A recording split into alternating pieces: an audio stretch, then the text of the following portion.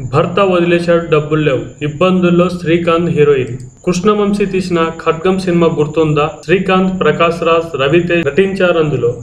ఆ సినిమాలో ఒక బాలీవుడ్ నటి కూడా నటించింది. ఆమె పేరే కిమ్ శర్మ. కొన్నాళ్ళు క్రికెటర్ యువరాజ్ సింగ్తో ప్రేమయానం కూడా నడిపింది. బాలీవుడ్లో కూడా అనేక సినిమాలు చేసింది.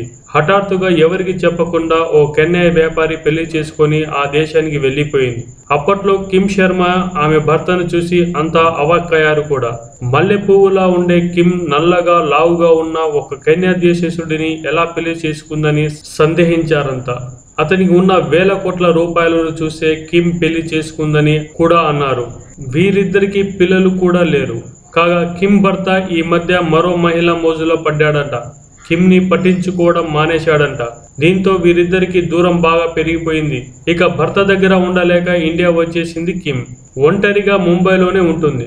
వస్తున్నప్పుడు భర్త దగ్గర నుంచి ఏమీ తెచ్చుకోలేదు. దీంతో ఆర్థికంగా చాలా కష్టాల్లో ఉందని సమాచారం. అందుకోసమే తిరిగి నటించేందుకు సిద్ధమవుతుందంట. కేవలం సంపాదన కోసమే ఆమె తిరిగి సినిమాలో అవకాశాల కోసం ఎదురు చూస్తుందంట.